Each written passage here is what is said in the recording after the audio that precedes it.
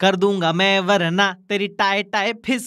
ये आईसीआई तुमको कह रहा है, अगर तुमने टेंशन लिया तो वो तुम्हारे टाई फिस कर देगा। तो सबसे पहले थोड़ा चिल करो। मुझे पता है जब तुम्हें वीडियो देख रहे हो, काफ़ी बच्चे थोड़ा टेंशन के माहौल में रहेंगे। चिल करो भाई, तुम्हारी मेहनत तुमने की है, तुमको फल मिलेगा ही मिलेगा। ठीक है तो टेंशन मत लो। अब इसी बात पे स्वागत नहीं करोगे हमारा। So welcome welcome welcome everyone to this amazing video जिधर आप सबको जो था इंतज़ार 5.5 डे स्टडी प्लान एफआर को कब शुरू करना है? कितना पढ़ना है? सर, आप मैराथन लोगे क्या? लूँगा ना, सर। बराबर? सर, हमको नहीं देखना मैराथन लाइव फिर हम कैसे करें? उसका भी प्लान रेडी है, सर।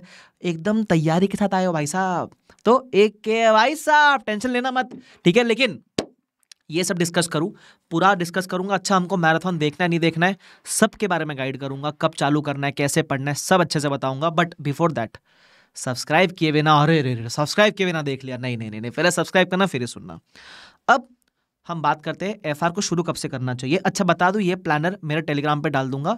लिंक डिस्क्रिप्शन बॉक्स में होगा, जाके ज्वाइन कर लेना डाउनलोड कर लेना, ठीक है? एफआर की बात करें you should start from twenty ninth of October ideal plan है ये, ठीक है? इतने साल से पढ़ा रहा हूँ, इतने सारे बच्चों को देखा है पास होते हुए। ट्वेंटी नाइन्थ अक्टूबर से दोगे, काफ़ी समय है उतना। फाइव पॉइंट फाइव डेज़ मिलते हैं रफली क्योंकि आपका एग्ज़ाम होता है थर्ड नवंबर को। तो उतना दिन आपके लिए सफिशियंट है, पहली चीज़।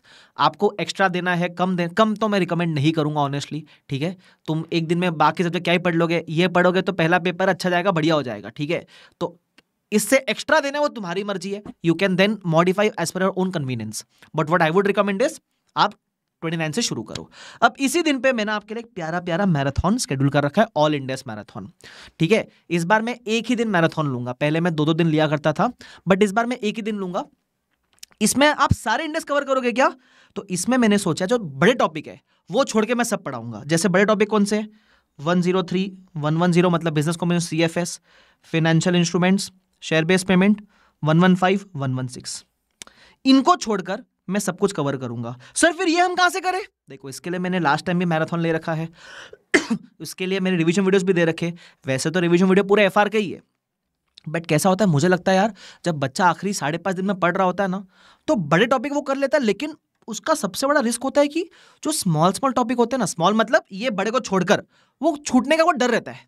तो मैंने बोला, क्यों ना हम इस बार वो सारे कवर करने का ट्राई करेंगे? और हर बार मुझे मैराथन में टाइम कम पड़ता था। तो इसलिए मैं शुरू भी इस बार नौ बजे करूँगा और नौ बजे तक पढ़ाऊँगा। ठीक है? तो हम कोशिश करेंगे ये छोड़ के जितने भी सारे बाकी बचते हैं, वो हम कवर करने का कोशिश कोशिश करेंगे, ठीक है? उसमें भी एक दो रह गया तो कोई बात नहीं, हम रिविजन वीडियोस हमारे पास है बट कोशिश मैं पूरी करूँगा, जितना मैं खींच सकूँ मैं खींच लूँगा उसके अंदर, ठीक है? तो हम टोटल ग्यारह बारह घंटा बैठेंगे, जितना खींच सके खींच लेंगे उसके अंदर, इनको छोड़कर, ठीक है? ध्यान रखना। अच्छा इनके लिए मैंने पहले भी ले रखे मैराथन रिविजन वीडियोस भी बिंदास देखो। अब इसको टैकल कैसे करना है मैं बताऊँगा। तो सपोज़ आप मैराथन देखने वाले हो लाइव सर हमको लाइव देखना चाहिए क्या? देखो, मैं बताऊँ हर बच्चे का पढ़ने का तरीका अलग होता है। किसी बच्चे को रिविजन वीडियो देखने से एक फ्लो मिलता है, उसके बाद वो फ्लो को साढ़े चार दिन तक कैरी ऑन कर सकता है। अगर आप वो वाले बंदे हो जिनको फ्लो मिलता है ये सब देखने से तो आप देखो। बट अगर आप सेकंड टाइप के बंदे हो जिसको बोलता है, नहीं नहीं भाई, मैं और मेरी सेल्फ स्टडी है ना? तो मैं सेल्फ स्टडी करूँगा और जब मुझे चाहिए उस समय मैं अपने रिवीजन वीडियो देख लूँगा। तो फिर आप सेल्फ स्टडी करो, कोई दिक्कत नहीं है। सो यू इतने टाइम से आप पढ़ रहे हो यू नो योर टेक्निक आपको पता है आपको क्या जमता है।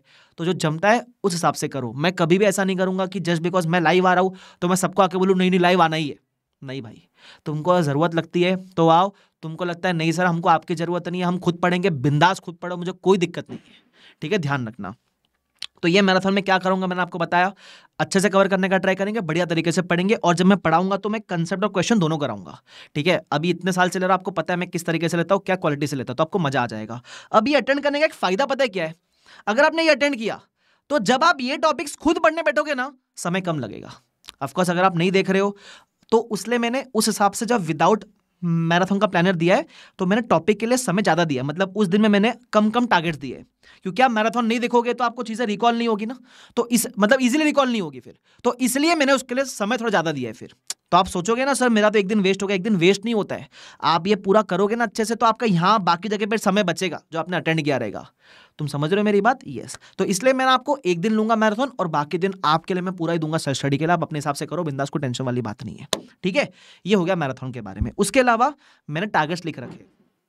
कौन से कौन से दिन क्या क्या करना है? अगर आप मैराथन देखने वाले हो तो बाकी दिन के भी टारगेट्स मैंने दे रखे अच्छे तरीके से पूरा बफर वगैरह लेकर चला है मैंने। किसी ने अगर अच्छे से प्रिपरेशन कर रखी है, इतना time is more than sufficient बस मैं एक चीज़ बोलना चाहूँगा when you are studying F in those last five point five days जो भी आपको मिलता है, आप प्लीज़ फोकस करना मोर ऑन क्वेश्चन ठीक है? कंसेप्ट तो पढ़ना ही है बट फोकस करना मोर ऑन क्वेश्चन प्लस अगर आपने मैराथन देख रखा है तो मैं तो कंसेप्ट क्वेश्चन दोनों कराऊँगा। तो जो कंसेप्ट आपको मैराथन देखते समय रिकॉल हो गया उसको तो आप दोबारा पढ़ना भी मत। जो कंसेप्ट आपको मैराथन में रिकॉल नहीं हुआ, सिर्फ़ वो कंसेप्ट पढ़ना और क्वेश्चन जितने मैं बोलूँ सारे कर लेना एलडीआर क्वेश्चन बेसिकली बराबर? और जो बिग टॉपिक्स है बिग टॉपिक जब आप रिस्पेक्टेड डे पे पढ़ोगे, आप चाहो तो या तो फटाफट से क्विक रिवीजन देख लो या मैराथन देख लो, जो भी दो के स्पीड में देख के फटाफट से, पुराने मैराथन जो भी लेटेस्ट रिवीजन वीडियोस है वो, या फिर सेल्फ करना चाहो तो सेल्फ कर लो, कोई दिक्कत नहीं but focus more on question I feel I feel ऐसे कंसेप्ट पढ़ो, ऊपर ऊपर से पढ़ के आगे निकल जाना क्वेश्चन पर ज़्यादा फोकस करना, ठीक है? ध्यान रखना ये बात। उसके अलावा मैंने एग्ज़ाम डे पूरा बफर रख के रखा है। तो इट इज़ पॉसिबल कभी कभी आप पढ़ रहे हो। सपोज़ आपने ये दिन पढ़ा और आपका one zero one one three रह गया। कोई बात नहीं, मैंने बफर रख के रखा है लास्ट डे पे। ठीक है? या फिर आप इसको नेक्स्ट डे कैरी फॉरवर्ड कर लो, कभी टाइम कम लग रहा टाइम बाकी टॉपिक में कम लगा। ज़्यादा बचा टाइम है आपके पास तो ये वहाँ कैरी फॉरवर्ड हो जाएगा। तो वो एक टॉपिक ऊपर नीचे इट इज़ ओके बट मोटा मोटी आपको मैंने दे रखा है। और अगर आपका एज पर दिस प्लान चल गया सब कुछ तो एग्ज़ाम डे का फुल हाफ़ डे बफर आपके पास। तो उस समय पे आपने जो फ़र्स्ट दो दिन पढ़ा रहेगा मतलब क्योंकि पाँच दिन तक एफआर पढ़ रहे तो जो पहले दो दिन पढ़ा वो भूलने का चांस होता है ना तो वो आप यहाँ रिवाइज कर सकते हो। वो सब मैंने लिख के दिया हुआ इधर, ठीक है? उसके अलावा बढ़िया काम मैंने पता है क्या किया हुआ आपके लिए? मैंने एक ट्रैकर दिया हुआ आपको बनाकर, कि जैसे मैंने टारगेट दिया फॉर एग्जांपल इस दिन पे कुछ टॉपिक्स करने थे तो आप लिख देना, कौन से कौन से टॉपिक कर लिए। और कुछ पेंडिंग बच गया तो पेंडिंग यहाँ लिख देना। फॉर एग्ज़ाम्पल मैंने फ़र्स्ट डे टारगेट दिया आपको सिक्सटीन थर्टी एट फोर्टी मान लो आपका सिक्सटीन थर्टी एट हो गया। तो लिख दो। फोर्टी बच गया तो लिख दो पेंडिंग। ताकि किसी दूसरे दिन पे अगर टाइम बचे तो ये फोर्टी को उठा के कवर कर लेंगे। समझे? तो इसका बेसिकली प्रिंट लेकर रख लेना, ठीक है? उसके अलावा मैराथन मेरे चैनल पे होगा। ये देखो एकदम प्यारा प्यारा मैराथन एफआर का, ठीक है? उसके अलावा आपके लिए एफआर की रिवीजन प्लेलिस्ट अवेलेबल है। पुराने मैराथन भी अवेलेबल है। तुमको जो सूट करता है, तुम बिंदास देखो, ठीक है? तो वो कोई टेंशन वाली बात अपने पास है नहीं। इधर देखो प्लेलिस्ट वगैरह आपको मिल जाएगी। अगर आप देखोगे ध्यान से तो मेरे ख्याल से ये रही आपकी प्लेलिस्ट बढ़िया से। इसमें सब कुछ है। जो तुमको चाहिए पास होने के लिए रिवाइज करना सब कुछ है इसके अंदर। तो वो भी तुम यूज़ कर सकते हो, तुम्हारी मर्ज़ी। जो तुमको सूट करे तुम वो करो, मुझे कोई प्रॉब्लम नहीं उससे। ठीक है? ये आपका ट्रैकर के बारे में हो गया। सेम प्लानर मैंने दे रखा है, जिसको मैराथन नहीं देखना है, उनके लिए भी। ठीक है? तो आप ये भी फॉलो कर सकते हो। इसमें भी मैंने, क्योंकि आप मैराथन नहीं देखोगे तो जो स्मॉल टॉपिक्स है, जैसे मैराथन देख के फटाफट से रिवाइज होता है तो चीज़ें रिकॉल जल्दी हो जाएगी यहाँ। बट मैराथन नहीं देखोगे, अपने पेस पे करोगे तो समय थोड़ा थोड़ा ज़्यादा लगता रहेगा, इसलिए मैंने टॉपिक भी कम दे रखे ठीक है? तो आपको जैसे सूट करा, आप करो, कोई टेंशन वाली बात नहीं है, और इसमें भी ट्रैकर अवेलेबल है। तो ये दोनों प्लानर में डाल दूँगा। यू डिसाइड और एक बार आप डिसाइड करो तो stick to it double mind में मत रहना, मैं देखूँ, नहीं देखूँ, वो देख रहा है, मैं देखूँ, ऐसा कुछ नहीं है भाई।